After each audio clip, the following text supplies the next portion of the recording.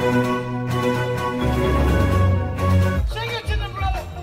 assess the greatest threat to the state. Today I will discuss the groups we assess to be the highest and moderate threats to New Jersey and look at some of their targets and intentions. Homegrown violent extremists, or HVEs, pose the highest threat to the state. These are individuals that are inspired as opposed to directed by foreign terrorist organizations.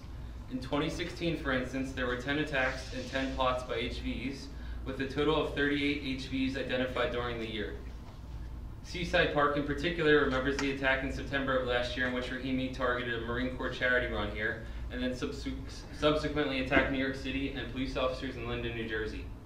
HVEs are difficult to identify during the radicalization process, but we do know that there are some similarities in how they conduct attacks.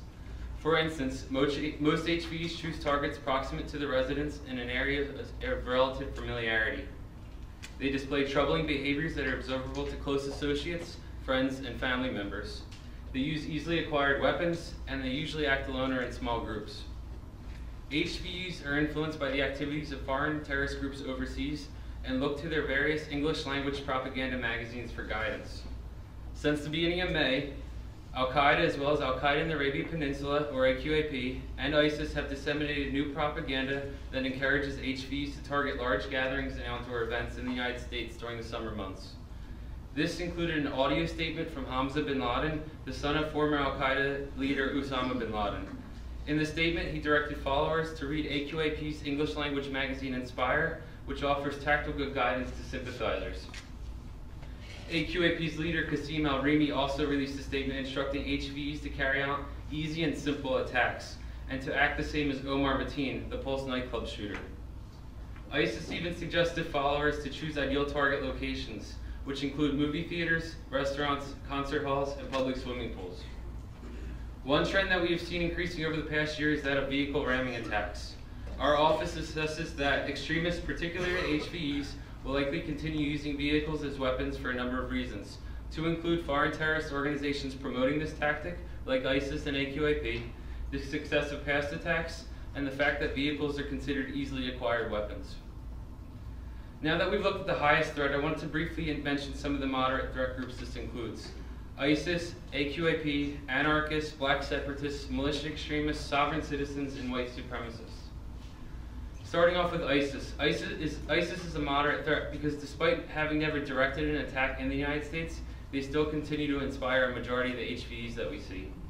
In the year ahead, mounting setbacks threaten to undermine ISIS's positions overseas, and they have suffered a series of territorial and leadership losses. We've also seen declines in online media production and foreign fighter recruitment. AQAP is an Islamic extremist organization based out of Yemen it is Al-Qaeda's most active global affiliate.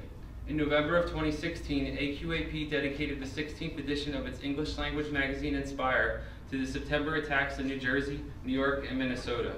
AQAP declared the operation a success, stating that the American citizen will definitely feel and live in a state of fear and instability.